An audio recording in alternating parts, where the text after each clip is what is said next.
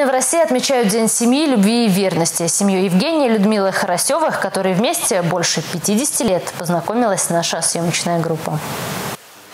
Они поженились 22 июня, в день начала войны. Но в совместной жизни обошлось без военных действий, шутят они. Общались, танцевали, все пели, туда-сюда на гармошке играли, играли на гармошке.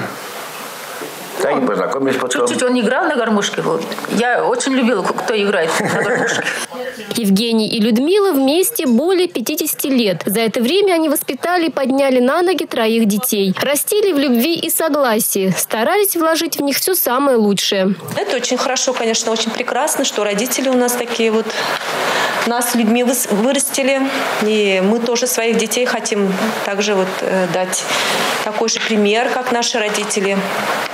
Поэтому слава богу, что они вот у нас живые, здоровые, и в согласии живут. И мы тоже также в своей семье такой же повторяем атмосферу, да, такой же союз хотим создать, как наши родители.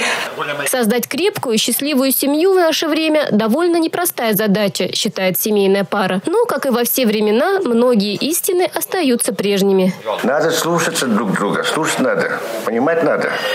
Вот самое главное, что. Да, Уступать друг надо друг друга иногда. И на не пойдет.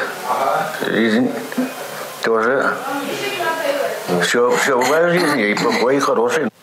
Семье Хоросевых и еще девяти счастливым семьям в праздничный день вручили орден за любовь и верность. Теперь он – семейная реликвия. Крепкая семья – это основа народа и государства в целом. Там меньше проблем. Они трудности сами преодолевают. Дети там намного лучше, на принципах соревновательности, состязательности лучше воспитываются. И они практически будут продолжателями, э, достойными продолжателями своего рода. Знаком материнской славы Анне сегодня отметили и многодетных мам. Одна из них – Елена Федорова из Янтиковского района. В родном селе Новая Ишина она работала на ферме, в швейном цеху, на поле. Но самой главной профессией своей жизни считает материнство. Желаю, чтобы они тоже рожали побольше детей, чтобы были у всех семьи дружные, большие семьи, дружные семьи были. Ольга Алексеева, Дмитрий Ковалев, Олеся Русакова, Борис Андреев, Республика.